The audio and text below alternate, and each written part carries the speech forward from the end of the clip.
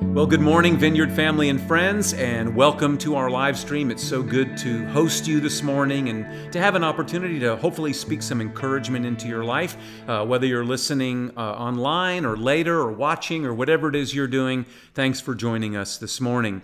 Uh, if you are with us live, I do want to remind you that we do celebrate communion together at the end of this broadcast. So if you haven't had a chance to grab uh, the elements, the bread and the wine or the juice, uh, this would be a great time to go fetch those things so that you're ready uh, to join us for communion at the end here. So I want to just dive right in and uh, do a recap a little bit of what I shared with you last Sunday as we talked about, and, and we did talk about it together as a church after the, the broadcast uh, about the new normal that we're living in today. This new normal. Everybody's talking about the new normal, and we're all trying to figure out like what is this new normal? Because it it feels a little bit like the ground is shaking underneath us, like the wheels are coming off the bus between the global pandemic, which certainly is disturbing, but the other things that we're dealing with as far as social uh, polarization, political polarization, potential economic collapse. I mean, all of those things, and we're looking at ourselves and at each other and just going, "Oh my gosh." What is this? What is this new normal? And quite honestly, it's creating a sense of, of being disoriented, of being disconnected, of being confused, of being concerned. And that would be perfectly normal given what we're all experiencing right now. So if you're battling a little bit of anxiety or you're, you're dealing with a little bit of depression or concern, guess what? It's understandable. That is normal. But I want to tell you this morning and remind you that what's normal is always defined by the time and the culture that we find ourselves in. So you and I are in a moment right now that does not feel normal to us because this has never been normal, right? We want to get back to the old normal, right? Pre COVID, pre polarization, whatever, uh, because some of us think that those days were better. Uh, there are some of us who think that the days ahead are going to be better when we get past all of this, and there's probably a lot of truth to that because we're actually being forced to address some things, some deeper things within ourselves and within our culture that are incredibly important discussions for us to have. But here we are uh, in, in July of 2020, and we're in this kind of new normal that has not become normal yet for us. And from a spiritual standpoint, I mentioned this last Sunday that not only are we experiencing kind of these tangible things that are affecting us, but on a bigger picture scale, we are rapidly becoming, at least in the American culture, in the Western culture, we are rapidly becoming a post Christian people uh, people whose thoughts and lives are shaped less and less by the gospel of Jesus Christ and more and more by other spiritualities, other values, other virtues that are now beginning to take center stage and have a bigger voice and bigger influence in shaping of our world and of our culture. But, but also, as, as I mentioned last Sunday, what we're experiencing right now, whether you recognize this or not, uh, is beginning to look and feel and sound more and more like the culture of the first century the culture that Paul and Barnabas in the book of Acts that we're looking at over these last several months and will be over the, the coming weeks are entering into with this, this gospel of the kingdom, this new normal that God is offering to the world. It is a time when every thought goes, all kinds of spiritualities exist. There's no uniform, unified culture or idea like Paul and Barnabas had experienced in Israel, where Judaism is like it uh, you know, this is, this is the defining way we all live and think and be. This is not the case in the Gentile world. And so I, I want to encourage us and just tell you that even what we're experiencing right now as Christian people is not uh, unnormal. It's not, it's not brand new. It's not unprecedented. This is literally the cultural uh, experience of the early church. And so we can learn from the early church, and I hope that we will. How do we begin to navigate waters when we're not in control? We're not the ones who are primarily shaping the culture and the values and those kind of things. Well, I'll just tell you, you know, over the last 300 years, if you've studied history at all, our Western culture has been focused more on knowing the right things and getting all of the facts right And as a result of that, expecting the world to change by increasing our knowledge. This has been what we have leaned into and pushed on for the last 300 years. In fact, you probably remember uh, from your studies in school, maybe you remember this thing called the Enlightenment, this period in Western history where there's this very high value now for reason and for logic and rationality and science and facts and information. And the, the whole thought behind the Enlightenment, which has shaped all of our lives up until recently, was that if we could just get the right information, if we could just dissect all the facts, like the world is this, this static thing to be studied and chopped and measured and understood, and then if we can get all the facts and we can understand this, this life in this world that we live in, that we can make the world a better place. The, the idea has been if we could just know more, if we could know the right things, if we can have all the facts and apply those things to life, then the world gets better. But here's the thing this, and this has been our culture for the last 300 years, whether you realize it or not. That's the air that you've been breathing if you're over the age of 30. But what we've come to discover over the last 30 to 40 years or so is that this simply isn't true. Think about it. Here we are in 2020. We've got incredible information and communications technology, incredible medical technology, transportation technology, agricultural technology, scientific knowledge and understanding unprecedented in the history of the world. And yet, in the last 100 years, we've had two world wars plus multiple regional wars, multiple genocides, atomic bombs, a global pandemic in 1918, 1919 that was way worse than the one we're in right now, at least for the time being. It looks like it probably still will, will be worse than what we're experiencing now.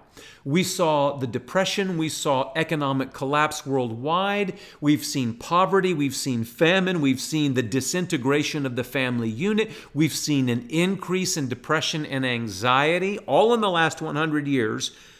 And I'm, not, and I'm not saying that science and technology and nothing good has happened. What I'm saying is we've come to discover that just getting more head knowledge, more facts, more information, getting the facts just right, is not going to change the world. Simply having head knowledge is not enough to create a world that looks and sounds and feels like the kingdom of heaven. Now, I know many people would say, well, I'm not even a believer in God. I'm an atheist. I'm not looking for the kingdom of heaven. But let me tell you, if you put your faith in science, and that is a faith proposition too, you really are in pursuit of something better than what you know right now. In other words, the bent is always towards progress, progress, progress, progress. People of faith think of that in terms of the kingdom of heaven. And so for us, for people like me, I look at people like that and I say, okay, maybe Jesus isn't the, the focal point of your thinking, but what you really want is the kingdom without the king. And this has been the reality of Western culture uh, for the last 300 years, especially for those who have uh, no faith in Jesus, no uh, trust in the gospel, those kind of things. And so, what, what's happened is we've, we've come to this place where we look at human beings and we think of ourselves mostly as simply thinking things. We are thinking things. And we just need to get our thinking expanded and our knowledge expanded, and the world will be a better place. And I'm here to tell you this morning that, that while more knowledge is wonderful, improvement in technology, fabulous, science and medicine, wonderful. What we need more than anything, what we're coming to discover over the last 30 or 40 years, is we need more heart knowledge. We need more heart knowledge. Think about the emotional climate in our culture right now. Just the way people are having such a hard time loving each other and giving one another the benefit of the doubt and thinking of one another as more than just thinking things who are overreacting on Facebook and Twitter and uh, uh, uh, right? That comes out of seeing one another as simply thinking things who need to change their thinking. What we are in desperate need of more than anything right now, friends, is to get reacquainted with the fact that we are people and beings created in the image of God. What we need is more heart knowledge. Not in lieu of head knowledge. We need to come back and get reacquainted with heart knowledge and seeing ourselves as spiritual beings as well as material beings. Because if we don't get in touch with the fact that we are first and foremost beings created in the image of God, meant to be in a relationship with God. And I'm, and I'm again, uh, pointing back to last Sunday. I'm not talking about just any God, right? Not this amalgamation of different people's ideas of God. Every, people walking around, you know, we don't have any trouble using the word God, right? Because everybody has their own idea of who God is. I am talking about the God whom Jesus reveals, that God specifically, right? If we don't get in touch with the fact that we are made in the image of the God whom Jesus reveals, and that God is not an actor in our play, we are actually an actor in His, then we have no hope. I hate to tell you this, we have no hope for a good and beautiful life. We are not going to think ourselves into a better future. See, God has a new normal. He really does through the gospel of Jesus Christ and the gift of the Holy Spirit that is beyond the normal of this life. It is beyond the normal of this culture, and it's beyond the normal of any life in any culture at any time in history. It, it doesn't make any difference when a person has lived, the gospel remains the same. Its power to transform the world remains the same. It is a whole new normal. And so I would say to you this morning, and I know I'm getting, I'm waxing philosophical here. That's okay. We're going to jump in the text in a second. I'm setting this up to get us to think deeply. You and I don't need to worry about what time or culture we find ourselves in. I know there's a lot of anxiety in our emotional societal systems right now, right? You don't have to worry. I, I mean this seriously if you've pledged allegiance to Jesus. The wheels may be falling off the bus or feel like they are in our culture and the world around us. But can I tell you, the bus that Jesus is driving, those wheels are locked on. They are fine and fantastic and headed perfectly where God is taking His world. And so you need to know that if you have said yes to Christ, that you, you can bet your life that, that the God that Jesus reveals actually is still in control of his world. And when I say he's in control, I don't mean that he sent a virus or that he has to manipulate and control everything. We don't need him to send evil. We've got all the resources for that ourselves. God comes in Jesus to defeat and to vanquish that actually. And he is shepherding his history and his world to a good and beautiful end. And that is the new normal that we are invited to live into in the gospel of the kingdom and the gospel of Jesus Christ. God does have the last word, and people who say yes to Christ are actually already beginning to experience a sense of that last word both in their heads and in their hearts. And that is a game changer. So I'm going to say before I jump into the text, and this, I know this may sound kind of hard, but I honestly don't care at this moment what it is you think you know. It is who you know and who you are submitting to and who you are surrendering to that makes the difference between an experience of the kingdom of heaven, even in the midst of this culture and this chaos, and the kingdom of hell on earth. It's who you know, it's not what you know.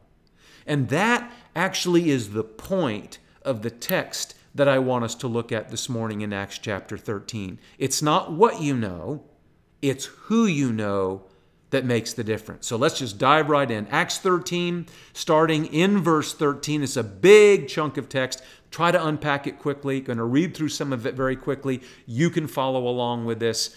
Let's see where we go.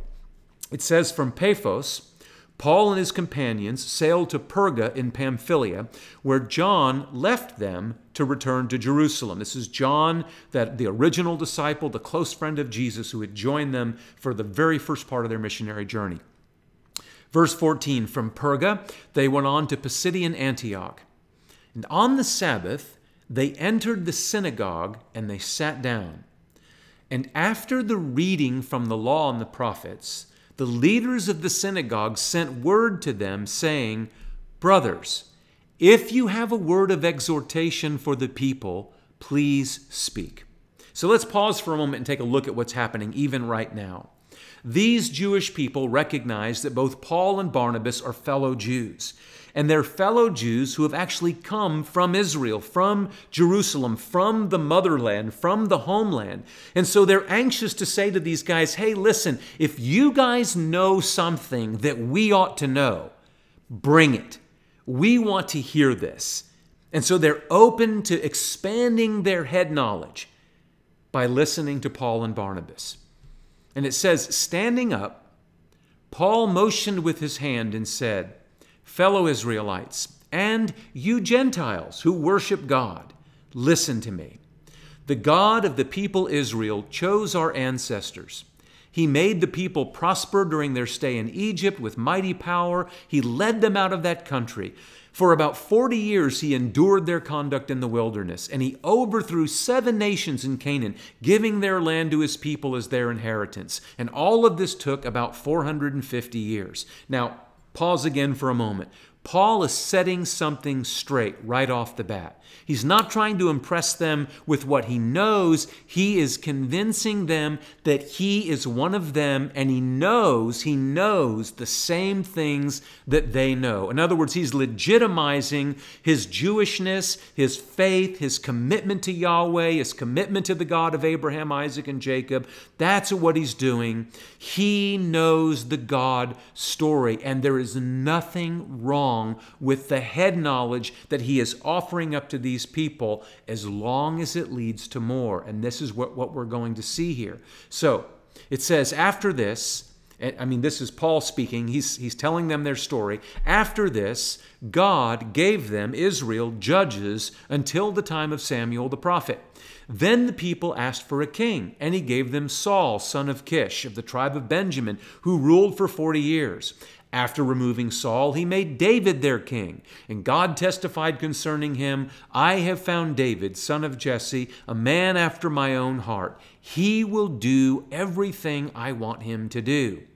From this man's descendants, God has brought to Israel the Savior Jesus, just as he has promised. Now, notice something here.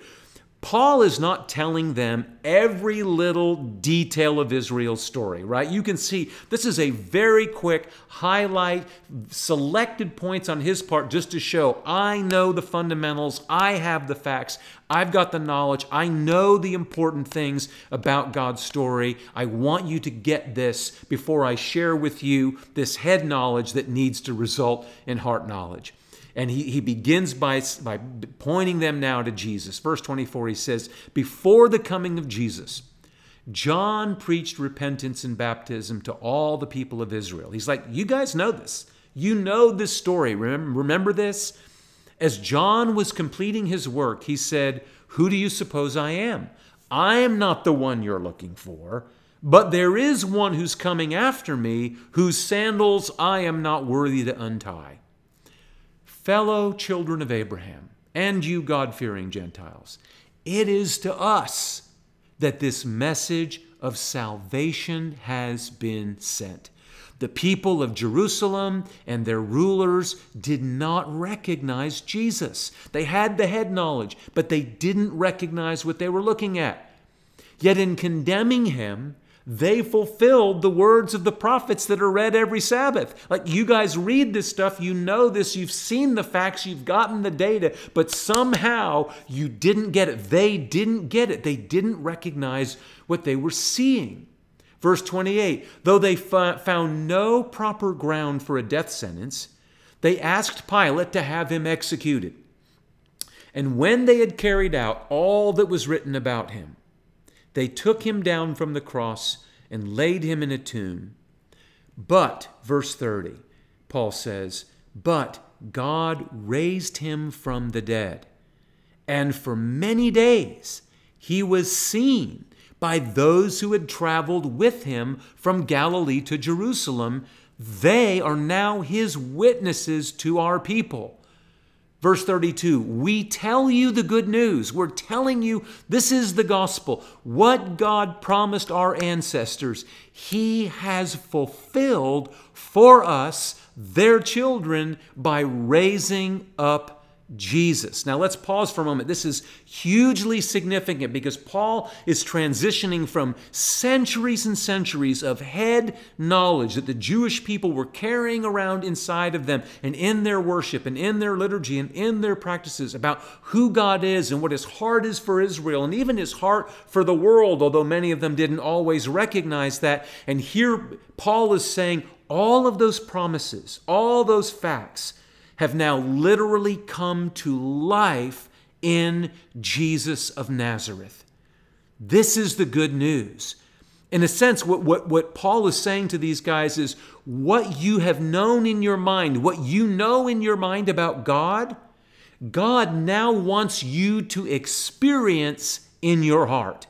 Something real has happened. The scriptures have been fulfilled. They have literally come alive for us in and through the coming of God in Jesus of Nazareth. In other words, you are now to go from head knowledge to heart knowledge.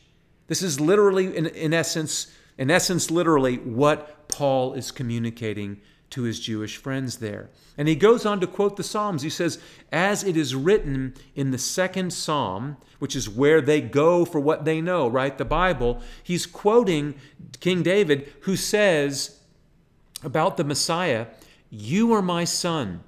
Today I have become your father. What, what Paul is saying here is you need to understand that prophetic utterance has been fulfilled in Jesus. Jesus is the Son of Yahweh. He is literally the Word of God made flesh to come and be our representative, to walk the earth on our behalf, to pay the price for sin, to conquer death, to overcome it, and to provide forgiveness of sins.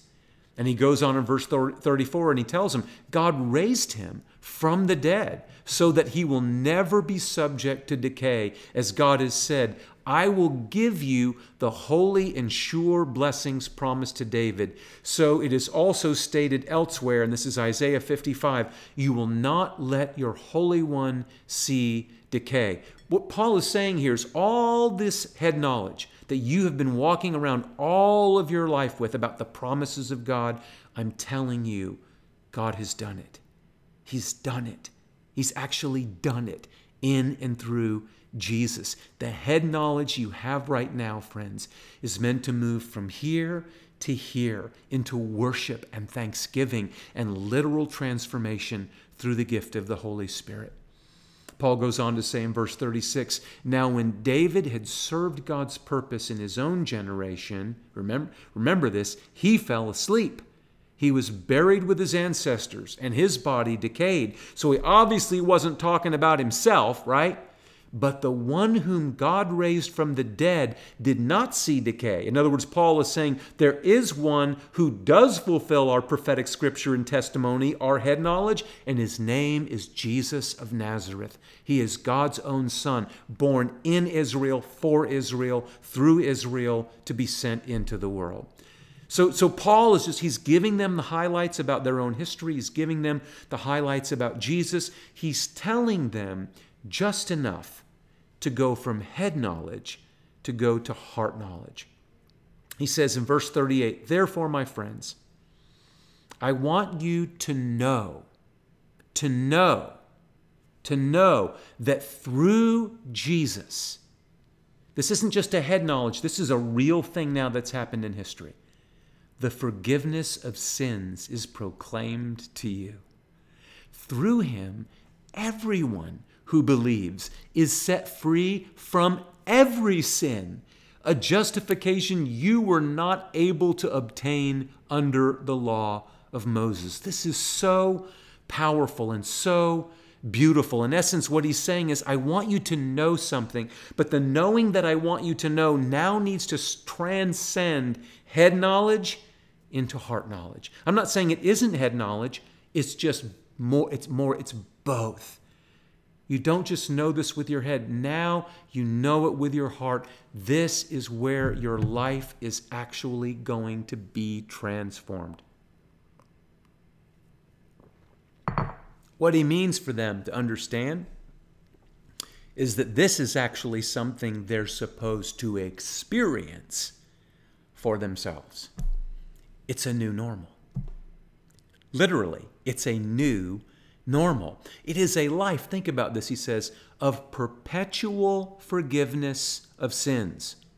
Perpetual forgiveness of sins. Like, this is what they could only have hoped for through their head knowledge in the previous biblical text. Now it's happened in reality. And an experience of the Holy Spirit, the Spirit of Jesus with them, who will be with them always always now, and will be so as a friend and advocate and as Lord and Master. As a friend and advocate and as Lord and Master. This is meant to go from the head now to the heart. So let me just say this this morning to you, just to clarify, in case you, I don't want you to hear what I'm not saying. I'm not saying that our beliefs don't matter. I'm not saying that head knowledge doesn't matter. I'm not saying getting the facts about God, as much as we can do that, getting those right doesn't matter. Our beliefs do matter. In fact, you know you're thinking the right thoughts about God and Jesus when it produces the right experience of righteousness and freedom and joy and peace in the Holy Spirit. That's literally what, literally what Paul is going to write later in his letter to the Romans. How do you know what your head knowledge, if your head knowledge is right, your heart knowledge will confirm it. You'll be living a life of freedom. You'll be living a life of joy. You'll be living a life where you know with your head and your heart that God is giving you His righteousness, not by anything you've done. It's granted to you that you're accepted once and for all through faith in Jesus Christ, and the result of that is joy and peace in the Holy Spirit, literally. And these things are gifts from God. That's how you know that what you're thinking is actually correct for your believing and your feeling and your experience with God. And this is the exact kind of relationship with God that they were always supposed to have anyway. And it's actually the exact kind of relationship with God that you and I, as image bearers, beings created in His image, were also always supposed to have with God. Something beyond head knowledge to heart knowledge. And Paul will go on to say this, quoting again one of the other prophets, verse 40 Take care, he says to them. And I think he'd say it to us today too. Take care that what the prophets have said does not happen to you. The, the prophet Habakkuk had written this to Israel as an advanced warning. Look, you scoffers, those of you who say this isn't true, this can't be right, this doesn't fit our head knowledge, it's not. No, look, scoffers, wonder and perish. For I am going to do something in your days that you would never believe, even if someone told you. In other, in other words, don't rely on what you think you know. Rather, listen slowly and carefully, not only with your head, but with your heart. Let the truth of the gospel travel from your head to your heart. Because here's the thing, friends, and this is worth taking home you don't believe in the truth and the reality of God, of Jesus, by knowing all the right facts. You know by believing. And see, I, am afraid that in some sense, those of us in the church have oftentimes, oftentimes approached the gospel and the kingdom message of Jesus backwards. We've used this enlightenment paradigm, this, this um, you know, more knowledge means transformation, it means whatever. We've, this is how we've been living for the last 300 years. We think that we believe rightly just by knowing and getting all the facts right. But this is not what Paul is teaching. He says you actually know by believing. There has to be a transformational experience that happens to your heart. And this is the work of the Holy Spirit. But when this happens, when you begin to know by believing, it's welcome to the new normal. Welcome to the new normal. And so we see through the rest of the story, and there's a lot more text, I don't have time to read this, that some of the people believe Paul and Barnabas, Barnabas, and some of them don't.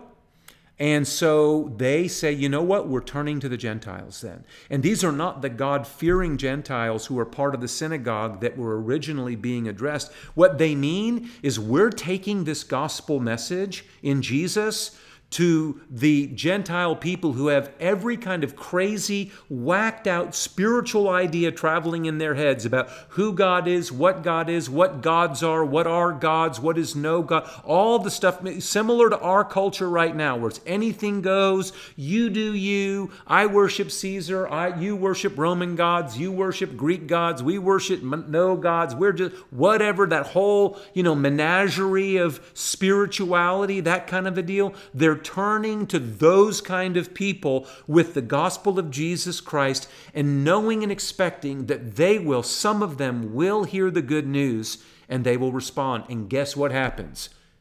They hear the good news and they respond. Many of them hear the news of the gospel of God's love through Israel now for them in the world, and they say, Heck yeah! Heck yeah, we want that. You mean you've got a God who has a history in the world that's been written down and prophesied and promised and now fulfilled in Jesus? We don't, Jesus, we don't even have a God like that. You have a God like that, and that God is saying yes to us, and He confirms it through the gift of His Spirit. Oh my God, yes, we want that. Bring us that God. And I'm telling you, friends, that this is the same gospel message that needs to go out into our culture today. It goes on in the, in the text, it says, verse 48 when the Gentiles heard this, they were glad and honored the word of the Lord, and all who were appointed for eternal life believed. They didn't even have the head knowledge for understanding who God was and what he was supposed to do. But, but you know what they did? They first believed the gospel, and their knowledge came through faith, through hearing the word and the word with faith, and they came actually to experience the risen Jesus. And then they knew that they knew that they knew that what they knew could be trusted. So, let me just wrap this up for the sake of, of time. Life with Jesus is meant to be felt, it's meant to be experienced, it's meant to be enjoyed. This is what Paul is saying is that, that the head knowledge that you've traveled with, it is meant to drop into your heart into the same kind of, of knowledge that you have of, of a husband or a wife or a family member or a close friend or somebody that you know, somebody that you love. That kind of knowing, that kind of knowledge. Not just facts to be dissected, but something to be felt, something to be experienced, something, something to be enjoyed in a knowledge and in a way of knowing and being and doing that is relational. And I am convinced that this is something that people in every single culture, in every time period, has longed for and is longing for even today. It's not just what you know, it's who you know that transforms your experience of, your, of life in, in the world today. It is meant to be heart knowledge as much as head knowledge for people to experience the gospel and, and the kingdom. So I'm going to wrap up with, with this story. Speaking of experiences of the Spirit and, and heart knowledge, last Tuesday, I, I'm get, I get up early in the morning as I typically do, make a cup of coffee, go out to my patio, and I'm just sitting in silence. This is one of my rules of life, one of my rhythms and practices to nurture my relationship with Jesus, with the Spirit of Jesus. I do this every day. And there's not a lot of words involved. I'm just sitting there and, and I'm, I'm attentive to the fact that, that God is with me, that He's present in, in all things. Um, and I'm just saying thank you silently. And all of a sudden, as I'm sitting there, just enjoying God, really, in the presence of God, this, this tune, this song comes in my head. It's not a song, it's a, it's, it's a, it's a jazz song. This, this tune comes in my head, and it is so loud and so crystal clear that I'm almost just like shaken by it, like, oh my gosh, that is so beautiful. It was, it was almost like Jesus played it, you know, for me or something. I know that sounds weird, but I'm just saying this is my experience with, with the Holy Spirit. And it was so compelling and it was so beautiful that I get on my iPhone and I start going through uh, uh, my music playlist looking for what in the world is that song. I know it's on my playlist. I know it's on my smooth jazz playlist. I know it's instrumental. I know, I think it's saxophone, I, but I'm not sure. So I'm scrolling through, scrolling through. I'm like, I, I've got to listen to this song. I've got to hear it. I've got to hear this thing. And I can't find it. I can't find it. I tap, I tap, I tap. Finally, I come across a song um, by an artist named Dave Koz. And I don't know the names to a lot of these songs because I just play them and they're jazz and they don't have words, so I don't care. I just listen, you know. And I hit I hit this one song and I play it, and instantly that's the song. And I was like, oh, I sat back in my chair and I just listened to this song. And as I'm listening to this song, I just I, I just sense the presence of the Lord. That's all I can tell you. I, it wasn't a worship song. Yeah, it's a secular song. I don't care. It's like I'm with the Lord and God is just ministering to me. And I want to share that song with you. you. You may or may not like it. Maybe it's not your style. I don't know. But I'm inviting you into my experience. What, what, I, what I know by heart of Jesus. I'm inviting you into my experience earlier this week. And then I have a closing comment about how the Spirit of God oftentimes works when we seek to know God by heart and not just by our head. So I want you to listen to this tune that, that the Lord just sort of ministered to me, and, um, and, and then we'll close.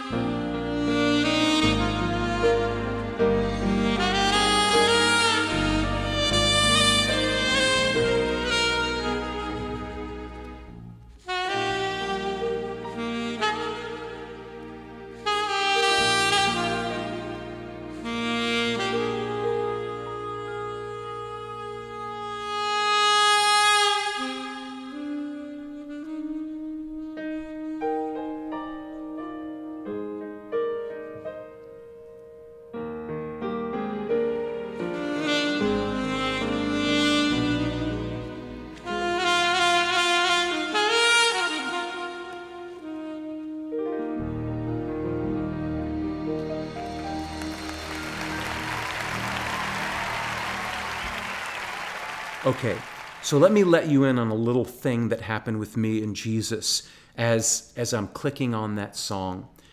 As, as, I, as I find the song in my playlist and I tap on it and I sit back to listen to it, I notice that the name of the song is Know You by Heart. And as soon as I read that, I laughed because that is a term that one of my grad school professors uses in reference to how we engage with the Bible, how we engage with scriptures. She encourages us not to just master the scriptures and mechanically use and manipulate the scriptures or even memorize the scriptures, but to meditate on them to the point where we know them by heart and I thought, "Oh, yeah, this is this is so good. This is about, you know, knowing the scriptures by heart." And as I had that thought, I just distinctly heard Jesus say, "No. This is about knowing me by heart." The scriptures point to me. I am alive. And I just sense the Lord say, "Geoff, you know me by heart, and I know you by heart." And I have to tell you, as I'm, as I'm hearing that and this interchange, as that song that you just heard is playing, tears just start coming down my eyes, and I realize this has always been about a relationship. It's always been about heart knowledge. Not to discount head knowledge, but it's always been about a restored love relationship with the God who created everything. Well, maybe you know this from the story, maybe you remember, but the Apostle John who was with Paul and Barnabas, as we read last week, in Cyprus, and now he's just left them in our reading of the story to head back to Jerusalem. That disciple that was so close to Jesus, he would write these words later in his first letter to the church. He says this He says, This is how God showed his love among us. He sent his one and only Son into the world that we might live through him. And this is love. Not that we loved God, but that He loved us and sent His Son as an atoning sacrifice for our sins. Dear friends, since God so loved us, I mean, this, is this not the language of heart knowledge, of relationship? Since God so loved us, we also ought to love one another. No one has ever seen God, but if we love one another, God lives in us and his love is made complete in us. And I just have to imagine that in, in, in essence, this is literally what Paul and Barnabas are communicating to all of these people now throughout the Gentile world that God has come in Jesus that we might have a heart knowledge of Him, and that the love of God isn't something you know actually by head knowledge. It's only known through heart knowledge. Friends, I'm telling you this morning, God knows you by heart. He knows you. He knows your heart and He loves you, warts and all. And you can know Him by heart as well, every single waking moment of your life. This is the purpose of the gift of the Holy Spirit. And so this morning, I say to you, I say to myself, Turn your heart and turn your head to Him, and I promise you, you will find Him. Amen. God bless you this week. This is the celebration of new life that we enjoy together as Christ's body here on earth. Jesus was the perfect reflection of God in His holiness, and we are to be the same reflection of Christ's love in the world. His Spirit inhabits, comforts, corrects, and directs us. He promises that for all who believe in Him, He will be our God and we will be His children. Scripture says that He prays for us and He gives us each other as a support for the journey. We're a diverse people from all nations, yet He is our center, and His mission of renewing and reconciling all people to the Father is our common goal. Jesus ushered in the kingdom of God and invited all who were hungry and humble to join him. He said in Luke 13 that people will come from the east, the west, the north, and the south and will eat in the kingdom of God. And one day he will return to make all things new and to usher in the great banquet feast with the family of God.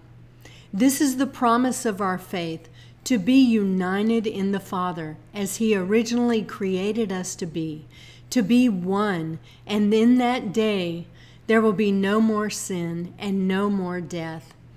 Let's take a moment to be still before the Lord. Let's open up our hearts. And if we need to confess and repent, now is the time that He might refresh us and renew us.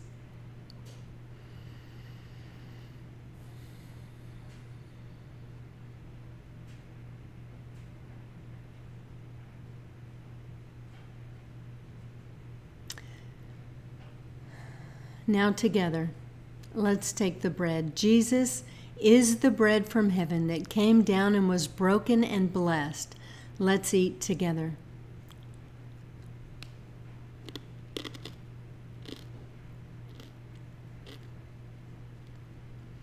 Jesus was the blood that was poured out for our sins. Let us drink together.